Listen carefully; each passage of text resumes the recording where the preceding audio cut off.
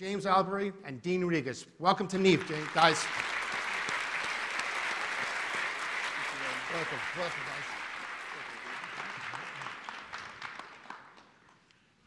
Ah, well, good evening, or, or Wow. good afternoon. Good afternoon. Uh, thank you very much for having us here today. Uh, my name is Dean Regas. Uh, this is James Albury, uh, and we are the co-hosts of the TV show Stargazers. Um, let's see. Out of curiosity, uh, how many of you guys watch us uh, regularly? Uh-oh. All right. We're in trouble. I know. All right, we're gonna have to How do some explaining. That's right. Well, well anyway, uh, well, the show that we're on this, we're on a PBS show uh, called Stargazers. This is broadcast all around the country, uh, and uh, we give one minute and five minute segments about what's up in the sky. And uh, this is our great graphics behind us. As you can tell, we fly through space on hoverboards. Very exciting stuff. Um, well, uh, James, we'll let you introduce yourself a little bit and uh, your background with this. Okay, well, as again, my name is James Albury, and I work at the Kika Silva Pla Planetarium. And when I first started working there, the last name Pla is the first three letters of planetarium. I said, was that a typo? but to see the, the Pla family, they donated money to have the planetarium completed. So uh, it is interesting the planetarium has such an interesting uh, name that rolls trippingly off the tongue. but um, nevertheless, I started working in the field of astronomy and in planetariums when I was 14 years old down in Miami at the Miami Space Transit Planetarium because apparently they didn't have child labor laws back in the 80s. But anyway, um, while I was working there, I had the opportunity of working with Jack Horkheimer, who was the creator and original host for the Star Hustler program. And we're going to talk a little bit about the history of the show as we go. But I really enjoyed not only working in that environment, but also sharing my love of astronomy with all the people who would visit. So I said, you know, when I grow up, I think I am going to go ahead and work in a planetarium. So when I went to the University of Florida, I studied astronomy, and when I graduated, I said, well, hmm, there are no astronomy jobs readily available, so I'll go into computer science. So I did that for a while. Then eventually I met my wife, uh, who I was helping with her electronic uh, thesis at the time. And we eventually got married, and then when we were moving from the Jacksonville area back to Gainesville, she said, you know, Gainesville has a planetarium now, and didn't you work in a planetarium when you were in high school and uh, early part of college? I said, yeah, but eh, I don't know. Well, she said, go ahead and look at the job description. So I looked at the job description and said, oh, I can do that, I've done that, I can do that. Oh, well, let me go ahead and apply. And I applied, they liked me, and now I've been the director there for almost eight years now. I've produced several planetarium shows, and, and now I get to co-host the show that I used to watch when I was a little kid. and Now my son watches me on the show. So that, it's kind of trippy now that you realize that a lot of things come full circle as they do. And There's a- when in there, when in there was your bodybuilding career? Oh, that was, I was, I was competing in bodybuilding right when I met my wife, which was interesting. Uh, I met her two weeks before I competed in the Gainesville bodybuilding competition. I won the competition. I invited her to the competition and I ended up winning. So I was like, well, that's good fortune. Yeah, before I met James, uh, when we were about to be named co-hosts, uh, my before I met him, uh, my colleague was like, "Have you Googled James Albury?" And I did, and the first picture was him like, I mean, this is like, it, do it, do it. You should do Well, a pose. I don't wanna mess up the Yeah, you don't want to break the suit, but I mean, it, it's it, if you want to have fun, look, Google James Albury bodybuilding. Uh, you'll you'll be. Oh, you'll- dear. It's, it's impressive. It's impressive. Well, thank you. Sure. And uh, so uh, this is uh, your planetarium, the, and a lot of people wonder when you say you're at Santa Fe College, you're not in Santa Fe, New Mexico, right? Right. Yeah, we often get that because there's a river near Alachua County in Gaines, in Florida. Uh, it's called the Santa Fe River. So when Santa Fe College was, or Santa Fe Community College was started 50 years ago, they called it Santa Fe Community College. But there's also a Santa Fe Community College in uh, New Mexico. So that produced a problem when we had our planetarium because I occasionally, to this day, get phone calls from people trying to make reservations for the Santa Fe College Planetarium, Santa Fe Community College Planetarium, uh, and they're calling from New Mexico or uh, places nearby and say, well, that's a 2,000 mile commute. so, That's a long way to go. Yeah, that's why, fortunately, when uh, John Pla and his wife Amy Howard donated the money to the planetarium, we have the other name, Kika Silva Pla, rather than the Santa Fe College Planetarium. So, yeah. Well, and, uh, and my name is Dean Regas. I'm the astronomer at the Cincinnati Observatory, uh, and I've been there since 2000. Uh, just last year, I wrote a book called Facts from Space. Uh, it has about 850 facts about everything in outer space, uh, stars, planets, all sorts of stuff. It's a good starter, good reader uh, that you can pick up anywhere. Some of our local radio personalities said this is the perfect toilet book. This is perfect. When you're sitting on the toilet, you know, I don't know, we'll go with that. Anyway, uh, we'll have, uh, James and I will be out uh, at the side, uh, and I'll have these for sale. Be happy to sign some of these, and James has some postcards to sign with his headshot, so you can get, not the bodybuilding one, so, but that- that's us. anyway, uh, and then I also work at the Cincinnati Observatory. This is a historic observatory in Cincinnati, Ohio. Uh, we have uh, two telescopes. Our new telescope is a 16-inch Alvan Clark uh, and Sons from 1904. That's our new one. The old one is our uh, pride and joy, one of the oldest telescopes in the world. Uh, made in 1843 in Munich, Germany, saw first light 1845. So it's going to have its 172nd birthday uh, on uh, Friday, so a week uh, next Friday. So definitely love to have you guys come and visit us uh, either in Gainesville or, or in Cincinnati. Um, so the show, how the show got started, well, this was something that uh, goes back a long way uh, to when Jack Horkheimer started it. And so Jack Horkheimer, there he is. Uh, this is, uh, Jack Horkheimer was the one who started the show. It was originally called Star Hustler. And so maybe you re- recognize that name. Now, uh, why would you have to change the name from Star Hustler to something? Anybody? Uh, I don't know if you. Uh, that's another thing to Google. Uh, Other than James bodybuilding, look up. Anyway, Yeah, uh, yeah, so, one so- of, the- yeah, one of the challenges, would you like me to tell the story? Yeah, go ahead, So, uh, yeah, one of the challenges as, because Star Hustler started back in 1976, and eventually uh, the show went national in the mid 80s. So when the internet came along, often teachers would like to show the episodes to the students. So they would do a search for Star Hustler, but when you search Hustler on Google, you don't get well, you did, it wasn't as family friendly anymore. So you got something. You Yeah. got something. That's true. Yeah. so when Jack was talking to the producers of the show, he said, "Well, we need to change the name." And one of the producers, Ed Waglin, said, "With Jack's advancing age, we should change the name from Star Hustler to Star Geezer." and he said, "No, no, no. Geezer's, even though he likes it, Gazer would be better." So um, Stargazers, Stargazer, Jack Horkheimer Stargazer is the name that it eventually went to, and then. The manifestation of it today, we have stargazers, plural, because there's two of us, and there were originally three of us. Right. Um, Marlene Hidalgo, one of the science teachers from Miami, when in October 2011 was announced that we would uh, revamp the show a little bit and have three hosts, she was our third host. But actually, she moved to this area. That's right. That's so right. she was, uh, because she was so far away, she wasn't able to do the show anymore with us. But Well, yeah, so but- my memory of, of seeing the first time I saw Jack uh, on TV was, I mean, I was really little and I was watching it and it, it was always on at the last thing that PBS did. So it was right before the, sh- the station called it, called it night.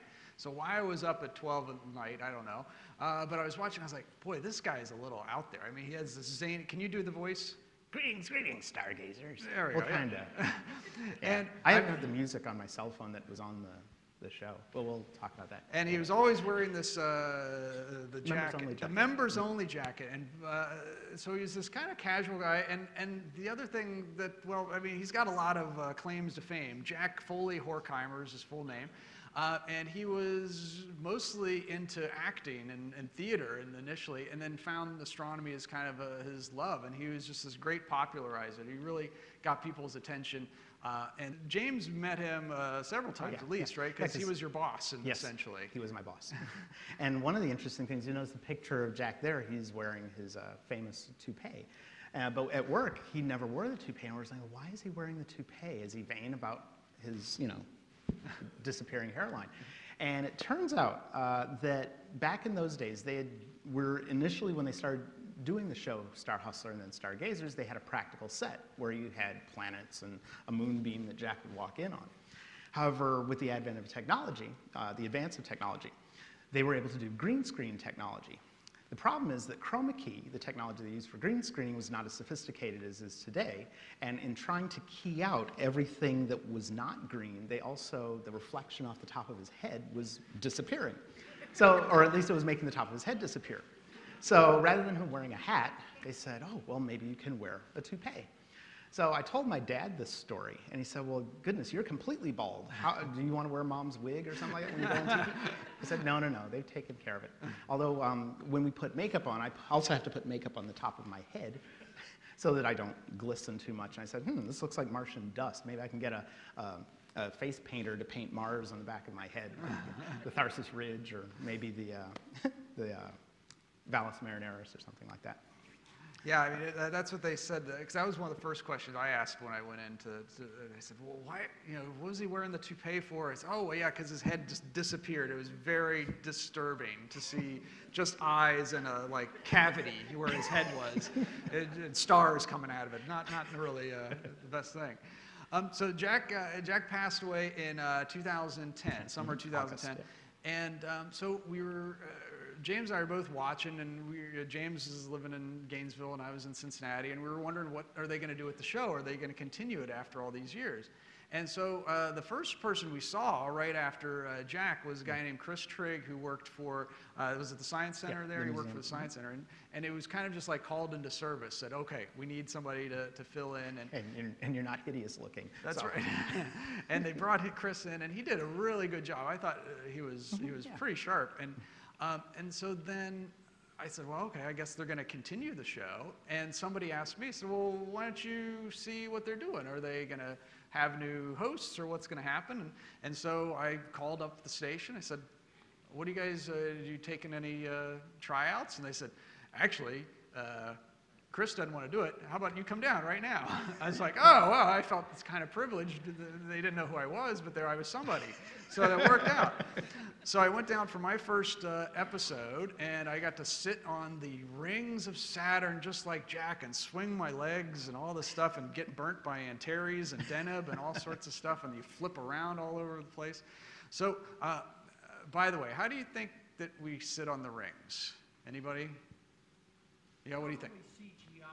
CGI, Not CGI. Come on, we're talking like 70s technology here.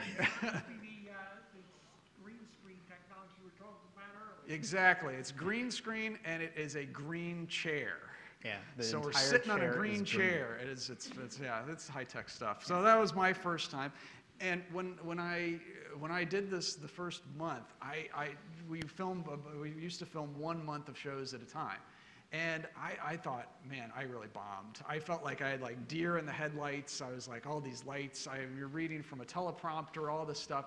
And I went after, after the, the first taping, I was like, well, I guess that was it. I'll go home to Cincinnati, and uh, that was it. And they said, well, you know, eh, we'll give you a C plus, um, but you know, how about you will come back next month? I said, oh, sure. So I, I got the call back and did another month. Uh, and then they tried a few other hosts as well. We had uh, Ed Romano uh, did, I think, one month. He had the, uh, the one month stint I that think Ed he's did. from this area also. Yeah, that's right. That's right. Um, and then uh, and then they called in this guy. Oh dear. Look at that young guy there. Look at that uh, clean-shaven face, uh, And I had all my hair. bright-eyed. He was, you know, he comes in the first day with a tie on. And I was like, oh my goodness, who is this guy? And uh, so, uh, yeah, tell about your first, uh, your first yeah, time. So, so I didn't, you know, I, I was thinking maybe do I need to wear a members only jacket like Jack did? And I said no. Well, I'll just dress the way I do at work. So I wore a tie because you know my wife would you say wear a tie at work? Uh, yeah. Oh my gosh, I- I don't even know you. Is- anyway, I'm sorry. so, but um, anyway, with the uh, when you know, when you're on national television, your wife says you're not going to be on television embarrassing the family, and mom calls me up, says the same thing. It's like, okay, I'll wear a tie. So when I get there, the producers say, wow, you're kind of overdressed. It's like next time you can you can dress like this now, but I think know, I wore jeans casual." on mine actually. Yeah. So that's how. Anyway. Yeah. So, so in the first episode, we did. Uh, I went down during the spring break at Santa Fe College, which was helpful because I had the whole week off. So I went down there and we taped the episodes for the month of April. And one of my favorite episodes is we were talking about the summer triangle and so forth. And uh, they, at that time, they did the special effects at the same time we were recording. So it took a lot longer to do that because that's what Jack insisted on. He wanted to see what the final product would look like as they were recording it, which made it a lot harder to do. Um, but we did it, so uh, they were actually able to have me spin in on the rings and land, and I would react as they were flying me in. So if you go back in YouTube and look at my original episode from April of 2011, you'll see when they spin me in on the rings, I actually react when I land, which is kind of cool. Yeah, you were good at that. Thank you. Yeah, we don't do it It's anymore. like you're flipping through space. Yeah, and yeah, you'll have to tell the story about the people who called you asking whether we were okay. Oh yeah, yeah. so- So so that's the thing is that uh, I asked the, the, the film crews like, so tell me some some good Jack stories. And the one that the the cameraman uh, Keith told me was that, you know, that there are people that really believed we were in space. They really thought we went to space just to film this one minute show and to say hi. And uh, so Jack Horkheimer got a, a fan that came up to him at one of the conferences like this. And it was this uh, kind of older lady, and she comes up to him and she said, Oh my gosh, I'm so glad to meet you, Mr. Horkheimer. I'm just, I've, every time I see you, I'm just afraid that you're going to be lost in space. I, you know, they're throwing you around up there. I'm just so glad that you're okay. and she's like, he's like, yes, uh, thank you. I'm on, on Earth all the time, but, but it, uh, I don't know if the graphics can fool people, but I guess maybe they can. I don't know. Uh, Yeah. So, so then uh, we also tried out another uh, co-host, Marlene Hidalgo. Uh, she was a science teacher in Miami, Florida, and so for uh, a little while there was three of us. So we were the stargazers: James, myself, and, Mar- and Marlene. And uh, so, uh, and she was with us for about a year or two, Oh, yeah, something like almost that. Three years. Yeah. And uh, uh, so it was a lot of fun just, you know, kind of playing off of each other and flying through space and all sorts of things. And then uh, she moved up to, uh, I think, the New Jersey area, yeah, somewhere area. like that uh, a couple years ago. And, uh, but uh, this is kind of what the typical scene is. This is the green screen uh, that we film in front of. It's, it's kind of like, uh, you know, what weather people do. uh, And It's a very big green screen. and so this must be, uh, oh, I'm pretending to be Orion, and James is not impressed. But anyway, that's, uh, and so then they just fill in the magic of television behind, and you can have anything you want. You can be on Mars, you can be all sorts of places. yeah, we can't wear anything green. That's true, yeah. You can't wear anything green, uh, or else you disappear completely into the background. Uh, so here's the three of us, and, uh, and this is uh, kind of the, the, the full setup there. This is the, it's, a, it's filmed in WPBT2 studios in North Miami, Florida. So uh, James drives down uh, from North Florida, and I fly down from Cincinnati.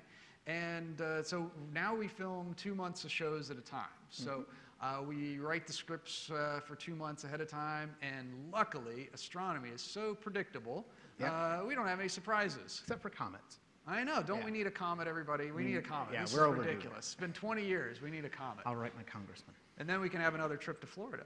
Um, and so uh, there's James in his usual hamming it up pose. Um, one thing that I've learned about him is uh, that he, well, let me think. Nerd is probably too weak of a word. Uh, he is uh, incredibly nerdy. I mean, like, uh, not only is your ringtone the Jack Horkheimer theme, like, whenever we're driving, he always has something spacey playing. Like, he's learning all the time about space stuff. And so, uh, if you guys meet us afterwards outside, uh, I I do warn you, if you ask him a question, you will get the whole answer. Uh, that's for sure. So, get ready for that. Well, thank you. He also is uh, quite the dancer. Um, whenever we need to relax uh, and ease the tension, he's always doing so. What, what do you call that one? Uh, what, this one or I don't know. Whatever, whatever you do. Well, whenever, whenever we talk about conjunctions, I start dancing. He has the because conjunction I really dance. like conjunctions. Uh, and we, we had one, uh, one uh, fan write in and said, uh, what's wrong with James? He's got ants in his pants. Does he have to pee or what is going on? So you might have to work on the dance a little. I don't know. It looks like you have to pee. But anyway, uh, so uh, one of the last things that Marlene did with us is that uh, in 2011, she and I went out to Reno, Nevada, and we did a, a show out there for uh, the eclipse. They had a lunar eclipse that was visible out there, and so we uh, joined with, uh, with the Reno uh, Public Television and did a show out there. And so that was really fun. We're really excited about the other eclipse that's coming up, though. Yep. Uh, and so, uh, what we're going to talk about next is we want to really, uh, you know, the, the main part of uh, Stargazers is to get the public interested. We, we know we're not like uh, trying to teach, uh, you know, PhD astrophysics, that's for sure. We're trying to inspire people, we're trying to get people uh, maybe their first looks through telescopes. And so, we want to get a few things to get you guys going. Uh, and just to give you a little bit of example of kind of what the shows are like, uh, we've got a couple clips here. This is going to kind of highlight some of the unbelievably realistic graphics that we have. And so let's see, could you guys start this one uh, for us? is the bright nose of Canis Major, the big dog of Orion. And it's always kind of low in the southern sky from my latitude, but let's see the difference from down in Miami. When Dean comes from Miami to film Stargazers, he's traveling down the curve of the Earth. So when he heads south, he gets to see stars that were blocked by his southern horizon in Cincinnati. For every one degree of latitude Dean goes south, he'll get to see one extra degree of the southern sky. All right, that had to be the worst acting job of walking ever. I mean, they did, they're like, oh yeah, that was good enough. I was like, that's terrible. That's terrible. Anyway, that's how I get to Florida as I walk down giant Earth. Anyway, um, the next one is. Uh, oh right, this is the secret The to secret James's to haircut. the- this yeah, is the good. secret if you to could my start this haircut. one, please. The sun's output is the same all year round, but the difference in our seasons is how much of that energy we soak up. It has nothing to do with how close or far we are from the sun. We're closest to the sun every year in January and farthest from the sun in July. So the distance isn't the difference. Hey James, you staying cool? The sun is blasting off my hair. Oh, you're doing great. You're doing great. Now, let's see how our tilt affects the view from down on Earth. Uh, sorry about your hair. It's okay, it'll grow back. And it hasn't. And it never did. oh well. All right. And uh, the next one, so we try to play off each other a little bit. And okay, so I'm kind of nerdy. I don't know. A little. Uh, who, who's the nerdier one? What's the orbital eccentricity of Mars? See, there we go. That's, uh, that's the answer to that question. um, so this is, uh, we, I- I don't know if you all have, uh, some of you are from astronomy clubs and uh, have gone to conferences where you have a uh, constellation shootout, where you sit in a planetarium and, and try to shoot out, the, try to name all the constellations and stars. Well, that's what we do. So if we could start this clip, this is our episode about that. Now we're facing south at 10:30 p.m. and we can see Orion high in the sky. Below him is the rabbit constellation called Lepus. Above Orion's right shoulder is Taurus the Bull. And to the right of Lepus is the constellation Eridanus. Okay, James, since you picked Orion, I challenge you to a star lightning round. Oh, goody. Okay, we're zoomed in on Orion and we're going to name stars. Go. Rigel, Bellatrix, Meissa, Alnitak, Alnilam, Mintaka, Saiph. Betelgeuse. Ah, good play, Mr. Regas. We could be here all night. I mean, it's kind of weird that we do a show where we talk about like obscure star names and like they still want us to do those. I mean, like, so we're, we're like trying to sneak in education here wherever we can. Yep. And uh, so James is really good at uh, constellations. Yeah. So we yeah, so we started doing the uh, the couple of episodes, the one on Bootes, the herdsman that airs either next week or uh, sometime soon. We talk about the individual stars in those constellations. Because uh, I, uh, I'm the director of the planetarium in, in Gainesville, as it, as it were, and I'm also the president-elect for our region's uh, planetarium association. So we have, uh, at our conference, we have a constellation shootout where all of us gather in the planetarium and they set the projector to the latitude of the host planetarium and they just slowly cruise the stars by. And John Bell, who is the director of the planetarium at Indian River State College, he, he's my role model. He can tell you the name of a star that's so obscure, it's like, I didn't know that star had a name. So I wanted to be like him. So fortunately, at one of the conferences, they had the same planetarium projector that I have at my planetarium, a GOTO Chronos. So having the sa- guy easily recognizable, because it goes down to about sixth magnitude, uh, the magnitudes of those stars on the GOTO, um, I won that competition. And then the next time I competed, I won again because thanks to you doing Stargazers, I've learned all of my obscure star names like Rastaban, which is one of my favorite names, and uh, Graffias and Dschubba. Um, so yeah, now I just judge the competition. I don't compete in it anymore. But It's that's too, one you're of the, too much of a ringer, right? You yeah. can't, so uh, now, yeah, yeah. thanks to Stargazers and working in a planetarium all the time, uh, and we'll talk more about uh, all the different shows that we do. But- Yeah. And our final clip is um, okay. Now this was an episode that I really lobbied for. That uh, this is one that I wanted to. I guess maybe in another life I wanted to be a stand-up comic. So uh, I asked, could we do a show just about moon jokes? Yep. So get ready for some bad jokes. If you could cue that one, please.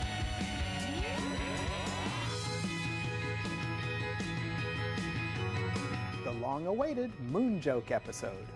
Hey there, stargazers. I'm Dean Regas, astronomer from the Cincinnati Observatory. And I'm James Albury, director of the Kika Silva Pla Planetarium in Gainesville, Florida.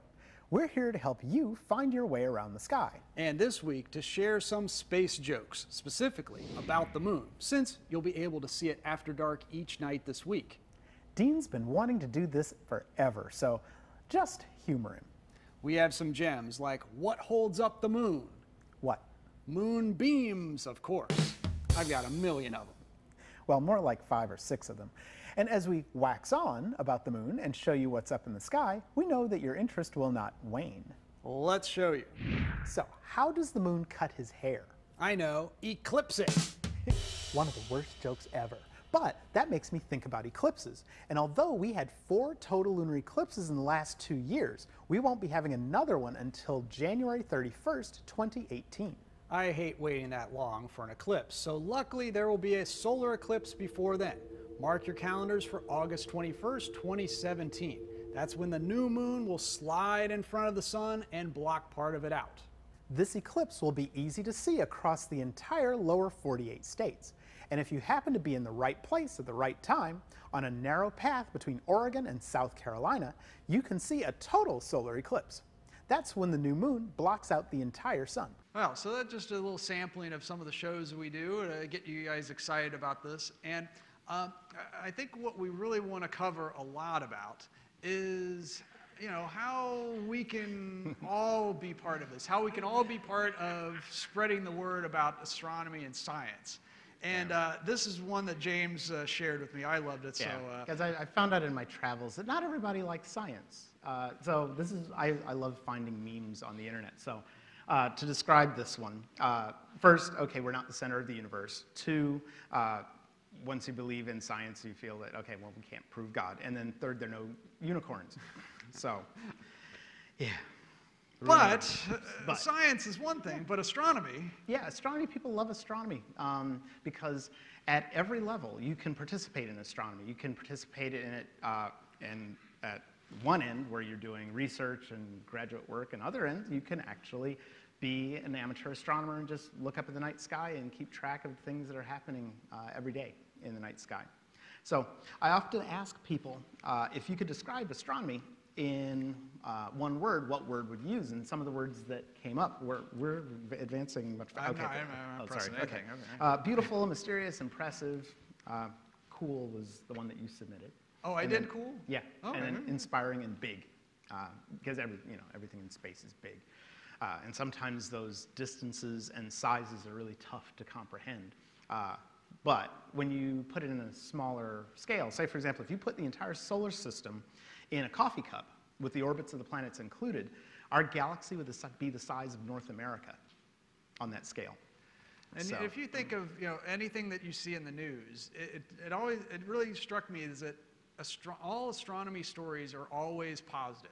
There's like no negative astronomy stories. Uh, It's it's like there's always something new that's discovered. They discover uh, a galaxy or they discover uh, a planet orbiting around another star, and it, it I don't know what it is. There's there's no like downside. It's it's like that we have this.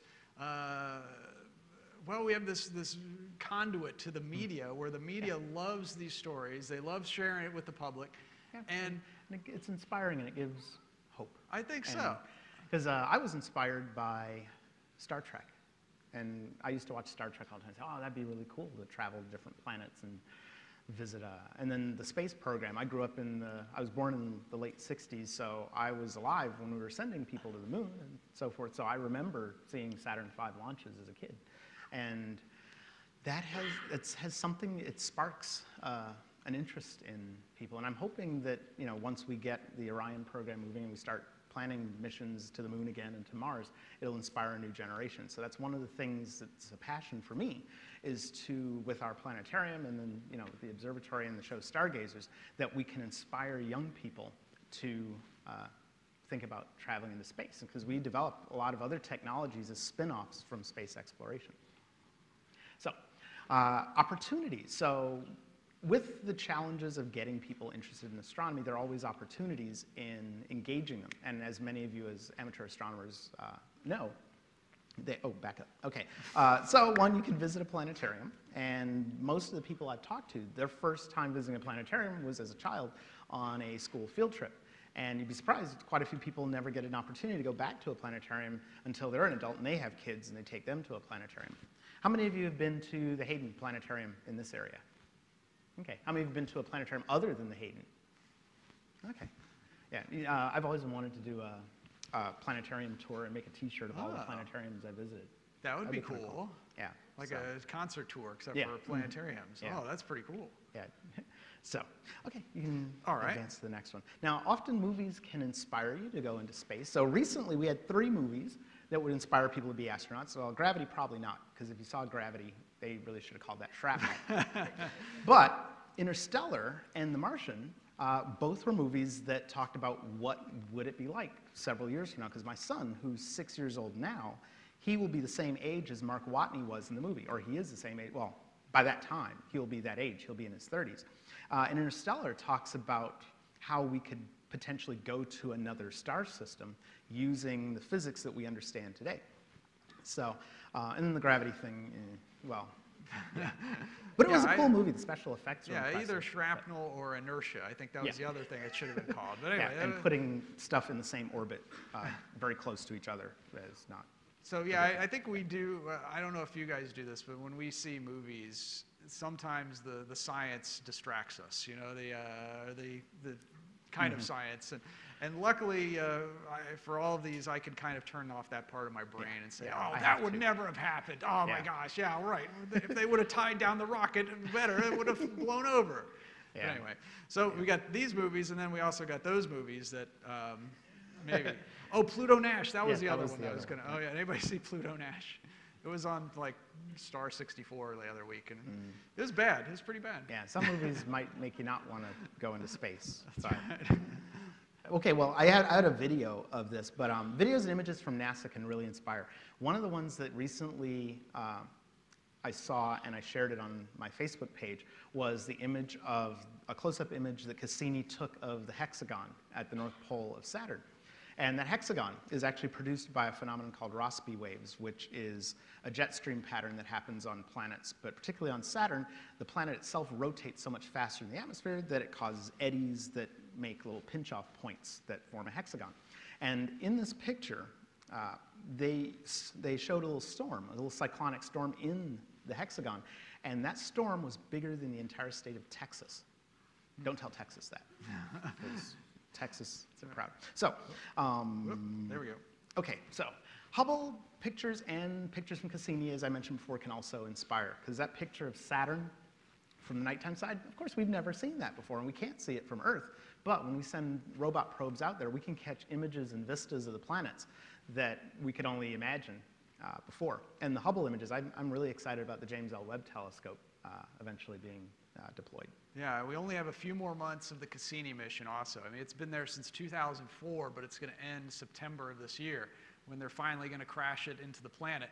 Um, so we only have a few more months to get these amazing pictures at Saturn because it's, we're not going to have anything around orbiting Saturn for a long time. There's nothing on the books. So uh, I'm really, that was my favorite mission is the Cassini mission. And uh, yeah, I'm glad you mentioned the hexagon part of it too. Okay, so one of the other opportunities we have is the best thing we can do to uh, interest young people, or anyone for that matter, in astronomy is to show them something interesting. And when I, uh, when I was about 18 years old, that was when Halley's Comet came by. And how many of you saw Halley's Comet? Yeah, so, uh, so you know, it was, it was hyped up because it's our, it's kind of humanity's comet. Every, it comes by every 76 years or so. So my great aunt, she saw it in 1910 when she was 10 years old, and she got a chance to see it again in 1985. And of course, my mom, who had never seen it, she was like really excited about it. Like, oh, when is it going to get here? When is it going to get here? So uh, we, because we live in Miami, there are a lot of street lights, so we drove down to Homestead, where it was a little bit darker. And I had the telescope set up, uh, aimed at Halley's Comet. And she looked through the telescope, and she said, and I quote, that's it? Because she sees all these pictures and she thinks, expects this big flaming thing in the sky. I said, well, mom, it's really just a ball of rock and ice, and the ice is melting, and it creates a little atmosphere, and sun's solar wind blows the tail back, and it's on the opposite side of the solar system, unfortunately, so it was very dim. So, to salvage the moment, I said, well, Saturn is up. And coincidentally, Saturn is in the same spot in the sky as it was 30 years ago, because it takes 30 years for Saturn to go around again, because Scorpius and Sagittarius are right there. So I aimed it at Saturn, and she looked through the telescope and said, oh my gosh, you can see the rings. I said, well, yeah, Mom, it's a telescope. but then I realized, no, no, no, don't, no, don't say that, because Mom will slap you. Um, But yeah, so a lot of people don't realize that when you look at that dot, at bright, because most people don't realize you can see the planets as bright dots in the sky, and when you aim a telescope, you can actually resolve the rings or the moons of Saturn, or depending on the size of your telescope, you can see the great red spot. So is that on the next slide or no? No, uh, Okay. no, a little later. Okay, but- so, okay. So, but things that, um, when you have an opportunity to share an astronomical event with folks, because sometimes we'll do sidewalk astronomy, and we'll talk later on about a couple of events that I've done at our planetarium with our local schools. Uh, and when little kids, when they look at Venus through the telescope, we did that uh, about a month or so ago. Uh, the kids would look at Venus and its crescent and say, "Oh, look, it's the moon." It's like no, because the moon wasn't up, unfortunately. Otherwise, I would have shown them the moon. But when they see Venus looking like the crescent moon, it's you, you don't want to dampen their enthusiasm and say, "Well, that's not the moon. That's actually a planet." But you say, "Well, Venus, the way it is right now, it looks a lot like the moon," and so. But at least they're associating it with something that they're familiar with. And so this is the, the trap that maybe you've fallen into if you're, if you're an astronomy educator or in an astronomy club is that there's events that get hyped in the media, like a comet or a meteor shower, and then you go out there with the public and the public is Yeah. disappointed. Yeah. They're like, oh, well, that was it. I heard there's going to be 100 meteors per hour. And there was like And two. I saw two. Or the converse of that is what we used to call the Horkheimer effect. And the Horkheimer effect is like Murphy's Law uh, for astronomy. It's basically the probability of cloud cover is directly proportional to the awesomeness of the event you're trying to show people. Yeah. Yeah. So, um, and we jokingly named it, Jack named it after himself because like we would publicize things. So, for example, the transit of Venus that happened back in 2012, you know, we're hyping it, hyping it. And in Florida, we were able to see it just before sunset. But if you've ever been to Florida, weather in Florida in June, it's really nice and sunny in the morning, and then you get thunderstorms in the afternoon. So we had 300 people at the planetarium, and just as the uh, transit was about to happen, we had storm clouds build up, and it started pouring down rain. So we all went inside the planetarium, and fortunately for the internet, we had video feeds from Slooh and a couple other uh, uh, observation points. It seems like Arizona has the best weather. Arizona and New Mexico, they're all, which is why they put observatories. That's right. But uh, they had uh, an image of the transit. So when I got home later on that evening, my son was two years old at the time. I was telling him, "Hey, that's Venus transiting the sun," and of course he didn't really know what was going on. But he'll be, I don't know, he probably, uh, he might live to see the next one. Well, Yeah. 100, Eh, uh, if 100 years from today. 117, yeah. 100 years from now. 100, yeah, maybe. Well, so yeah, you want to, that's the trap, is you want to publicize your events, but you want to make sure you have something good to actually show them. Hmm. So, The big one. you got something. The big one! Now, I mean, comets, who knows what's going to happen with the comet? Meteor showers, who knows what's going to happen with a meteor shower? This is something you know is going to happen, and it's going to wow your crowd. This is, this is going to be huge. I can't underestimate this. I can't underemphasize this. This is going to be so big. The media is going to be all over this. And so, what we want to encourage you to do is to use this moment to your advantage. Because if you're an astronomy club or if you're uh, just an astronomy enthusiast, the media is going to need your help. Because they, how do I put this delicately? they need your help. They just need your help. and to explain something to them that they can understand. oh boy, I'm really putting it, I'm, I'm Yeah. digging it deeper. Yeah. Anyway, uh, the way that you can put it to them to help them understand things that they can communicate then to, uh, the, ne- to their audience, this is really important. And because this is going to be uh, so huge, this is going to be uh, all around for that whole week and probably even the month ahead of time because this hasn't happened in the United States in 30 years, 38 years, at least in the mainland U.S. And it's going to be visible from coast to coast, and everybody in the U.S. will at least get to see a partial eclipse. So it's a story for the entire country. Uh, now, I, I've been looking forward to this for a long time. This is a slide from one of my early PowerPoints when I first started at the observatory. And I showed this to kids. I said, oh, there's going to be a total eclipse. Like, this, like, pretend this is the year 2001. And I said, there's going to be a solar eclipse in a short period of time, uh, 2017, 2024, and 2045. 2045, yeah. And that was a good joke. But now, it's almost here. I can't wait. This is something we've been looking forward to for a long time. So we Yeah. have to really share this with as many people as possible. I'm, I'm already promoting the 2045 eclipse because that one goes through not only where I was born, Denver, Colorado, but Centerline is also the entire state of Florida, and it goes over where my mom was born, Nassau, in the Bahamas. And the moon is going to be at perigee on that eclipse. So it's going to have a, between a five and a seven minute totality, which is one of the best solar eclipses in the 21st century. And it's two weeks before my 78th birthday.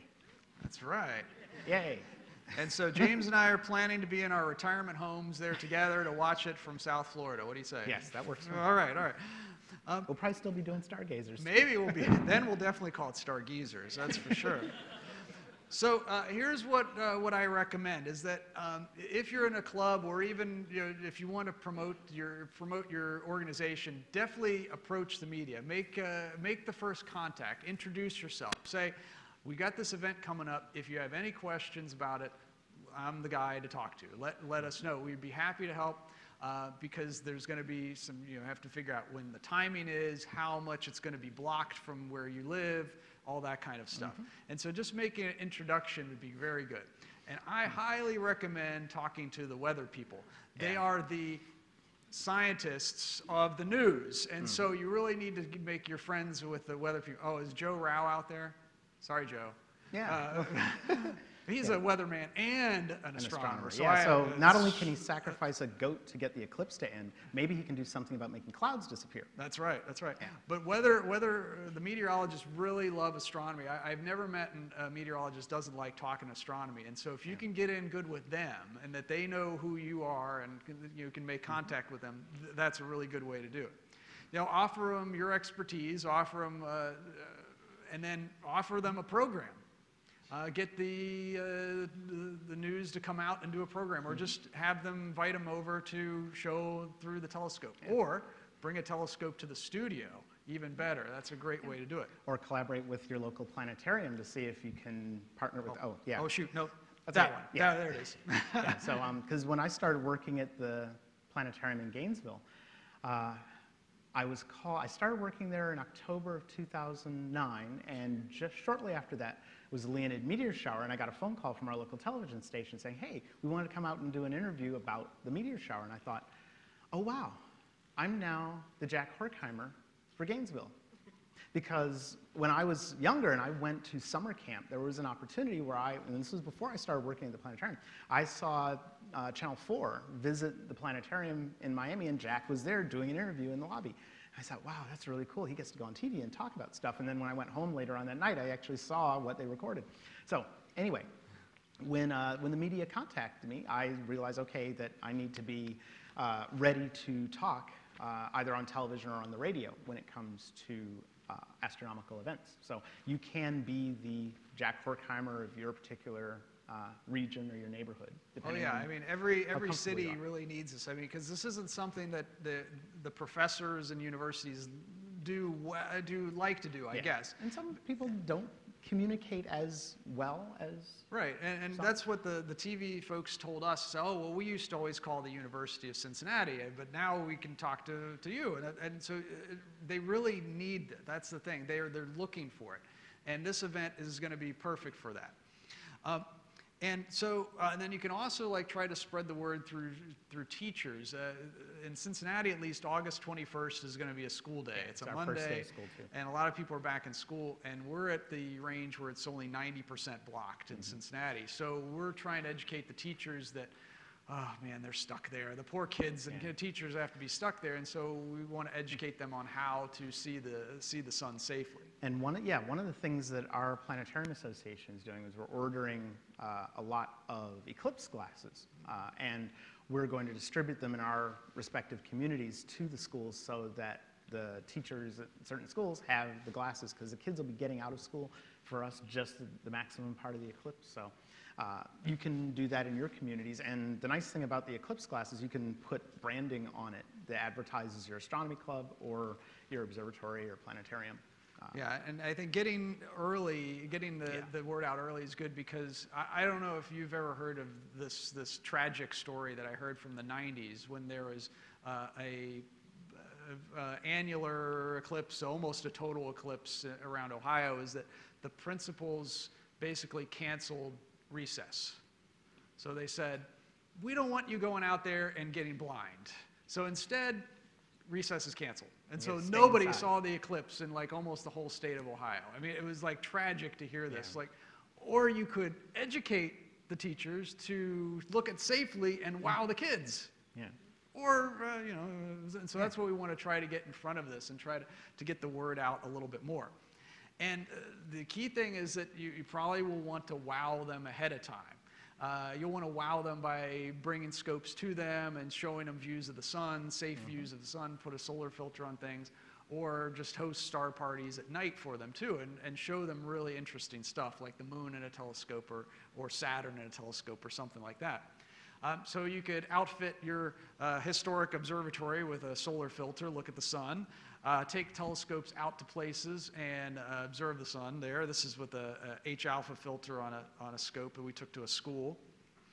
Uh, and then uh, getting telescopes in the hands of people is always good because that's what it, it feels like so many people have not ever looked through a telescope. And when you show them that, you introduce them for the first time, it's just the, the feeling you get back is just incredible. So these are some telescopes that we uh, awarded. These are those Galileo scopes. Uh, and these kids like uh, were so excited. They're like looking at the moon and then they're like showing it to everybody else that passes by. And so uh, a lot of you are, probably in astronomy clubs and you have a lot of people that you can, you can work with and have a lot of people that get out there and mobilize to, to do this. And this, this could, this moment uh, of the eclipse could be a way to either boost your own numbers in your, your club or start a whole new era, really, of, of having new members in, in your astronomy club because this is going to be such a widespread thing. Hmm. then you can also travel to places because, well, I'm not going to stay in Cincinnati for a 90% eclipse. And Yeah, I'm going to try to see totality myself. So, so uh, probably uh, getting mobile and getting out there and, and joining some other star parties is good. Uh, uh, the annular eclipse that happened in 2012, I went out to Reno, uh, Nevada, and had a really cool, uh, cool sight to, to see. Uh, this was uh, the star party there where they had a few thousand people that were set up. And it was sunny. Well, most of the time. Uh, and so you can get to these uh, star parties and get out there. And uh, so I definitely encourage you to not settle for 90% eclipse. I'd say get out there and see as much as you can. Uh, and then you could also do some star parties uh, in, in advance to this, uh, like uh, this one. What Yeah. was this one? Yeah, this one we did a uh, star party uh, as part of. First one was Night of Stars over at uh, Duval Elementary, uh, sorry, Duval Early Learning Academy in Gainesville, and we did one the following week, and this was in February over at Irby Elementary, where my son happens to go to school, and that that's my son. Um, interesting thing about your children and uh, what they when they see you do things they want to do the same thing. So and we even cut our hair the same way oddly enough. But and cloning works. But Yeah. so but uh, yeah it was funny. He knew all his planets by the time he was like two years old. And I said, wow, it's a good thing I don't work at a liquor store. Because you know all his drinks. So, but um, yeah, so the telescope we had, um, our planetarium has been blessed with uh, donors who will donate telescopes to us. So one of our students, he donated his Celestron Nexstar to us because he said, I, you know, I live out in the country, but I never really had time to set it up and, and operate it properly. So he donated it to us. So we, it's a lot more portable than our 12-inch Schmidt Cassegrain uh, to take with us. So we carry that, and that's the one that the students look through. And uh, so I first lined it up with Venus while it was daytime. Because a lot of people don't realize that you can see some of the planets in the daytime. Uh, I showed a couple of our professors Venus uh, just in the sky, because as Venus was coming around as a crescent, we, uh, we got to see it. So having the kids uh, look through the telescope, and how many of you actually have done star parties yourselves? Okay. Have you ever noticed that when kids, particularly younger ones who are, I guess, younger than six years old, when they get up to the telescope, they immediately want to touch the eyepiece? It's like, no, I just aligned it. Oh, yeah, I heard the groan out there, yeah. We should write a, a top 10 list, top 10 things that often happen at star parties. So. All right, so, Did- have you heard the, uh, the, the, the trick to, to stopping that? oh, what is it? I've seen this in action is you get a walker, like, uh, you know, nursing home walker, and you put it right in front of the telescope. And so when the kids go up to lean in, they put their hands on the walker and then look at, and then Huh. no moving telescope. Except for then they're like, what's that? And then it's, uh, it's gone. But yeah. Yeah, because like with my ladder, you see how the kid. Oh uh, yeah, is holding see, the onto ladder does yeah. it too. Perfect, perfect. Uh, so uh, in the, uh, I also, you know, we're going to be talking about, you know, talking about this eclipse as being such a giant thing, but let's not forget some of the other wow moments. And and I've kind of come back to Saturn again because I, I know uh, probably a lot of you have seen Saturn over and over and over again, um, and it. The, what I always think of is the first time I saw Saturn at a telescope. When I first got this really cheap telescope and I pointed at Saturn and I found it myself, and I was just like, I, I, I still remember that so well that that was this moment in my life. And so I, we're going to have Saturn up during the summertime, right before the eclipse. And so I'd really highly encourage using that to, to, to show people because Saturn, it's going to be at its most tilt, tilted for uh, its cycle.